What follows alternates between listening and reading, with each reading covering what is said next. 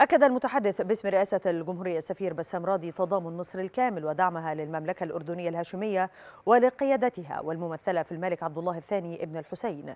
وذلك في الحفاظ على أمن واستقرار المملكة ضد أي محاولات للنيل منها.